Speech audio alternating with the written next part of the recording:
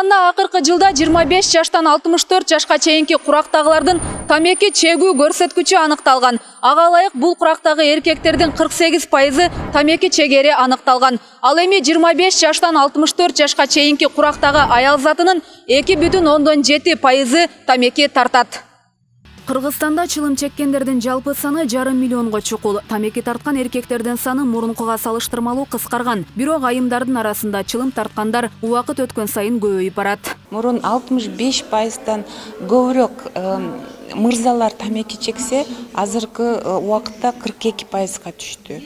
Аял зат болсо э, кичине кичине көбөйүп атат. Бирок азыркы бүгүнкү э, убакытта эки э, жана жети пайыз э, турат. Тамеки чеккен кишини карагандан эле көрүнүп турат. Э, бети саргайып же көгөрүп колдорун карасаңыз тилдерин карасаңыз көк болуп турат. Адистердин маалыматына караганда акыркы жылдарда кыздар арасында тамеки чеккендердин саны көбөйгөн буга эмне себеп болуп жатканын сурамжылоодон байкап көрөлү.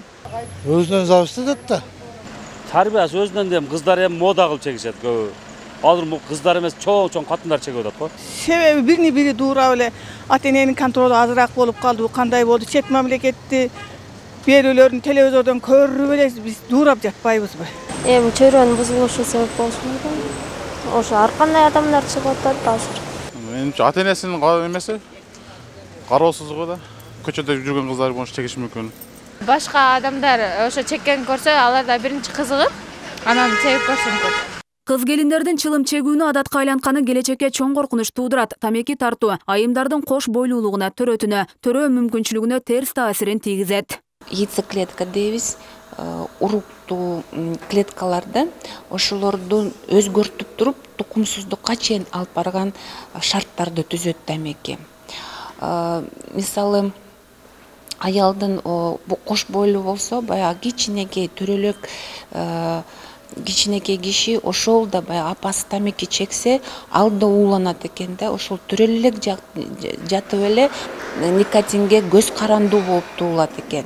Тамеки рак жүрөк кан тамыр ооруларына алып келип өнөкөт дарттарды күчөтөт. Чылым чегүүнүн аягы өлүм менен аяктоо коркунучу бар чылым чегүүдөн дүйнөдө жыл сайын алты миллион адам каза табат. Ал рак оорусунун он беш түрүн пайда кылат тамеки жүрөк оорусун күчөтүп инсультка алып келет. Ошондой эле эмфизема бронхит өпкө ооруларынын пайда болушуна шарт түзөт.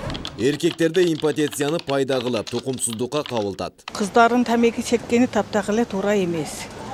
Азыркы салтка дагы мурунку салтка дагы азыркы жашоого дагы туура эмес. Эми ошо ар бир кыздын ата энеси өзү тарбия бериш керек да менин оюмча. Тамекинин курамындагы уулуу заттар бир гана чеккен адамга эмес анын жанындагы адамдарга да зыяндуу. Адистер тамеки тартууну токтотууга олуттуу чара көрүлбөсө жыйынтыгы кооптуу болоорун кулак кагыш кылышат чылым чеккендердин санын кыскартуу үчүн тамекинин баасын көтөрүү керектиги айтылып келет бирок колдоо тапкан эмес.